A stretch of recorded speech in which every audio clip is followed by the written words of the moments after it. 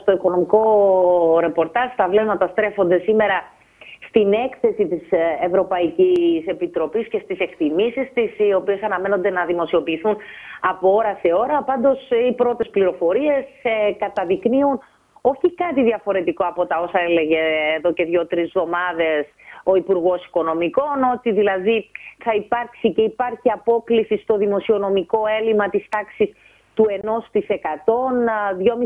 2,5% είναι ο στόχος που έχει θέσει το κυβερνητικό επιτελείο.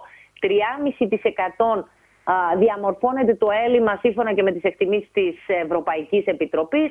Αυτό σε πραγματικούς αριθμούς δημιουργεί μια τρύπα της τάξης των 150 με 200 εκατομμυρίων και είναι πλέον φανερό ότι η Ευρωπαϊκή Επιτροπή θα δείξει στο Σαρλί το δρόμο της λήψης μέτρων.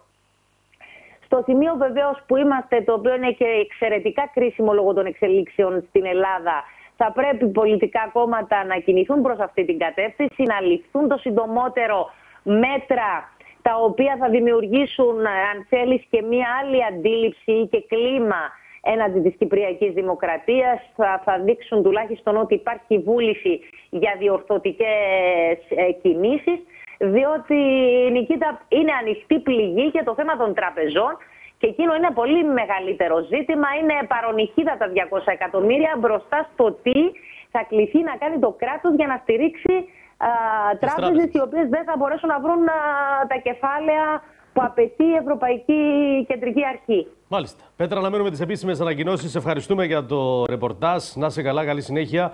Πάμε στο Υπουργείο Εμπορίου, πάμε στον